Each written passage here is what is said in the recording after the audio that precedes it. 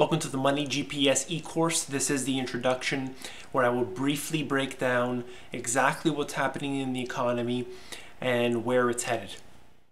The stock boom in the 1990s was fueled by low interest rates, and that produced a massive bubble in stocks.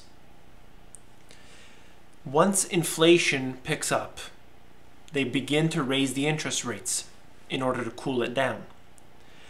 Once the rates get to a respectable level, however, the economy begins to slip into a recession. This is an easy pattern to recognize. You look at the federal funds rate, which I'll show you in a bit, and that will determine exactly where stocks are going. You can see in this chart here that the 30-year mortgage rates have been declining for decades.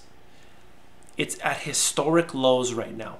This is a desperate attempt by the governments to keep people buying homes. Interest rates are at 0%. This keeps people borrowing more and more money because the money is essentially free. This reduces the incentive for people to save because they're not going to get any return on their money. Now, the stock market reacts accordingly to this. The governments are printing money at record levels. This is a desperate attempt to keep the economy afloat. Bailouts of banks and other institutions are taking place, and this is adding to the national deficit.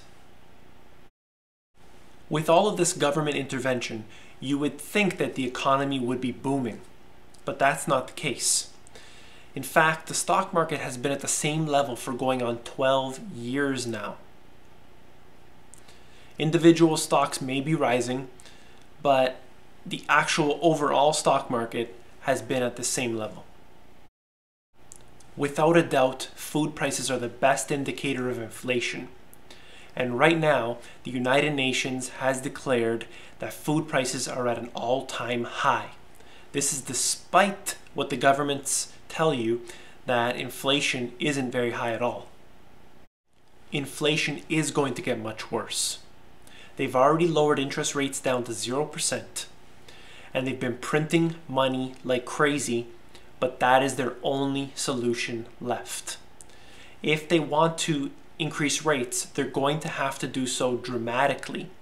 That is going to cause a complete collapse of the economic system.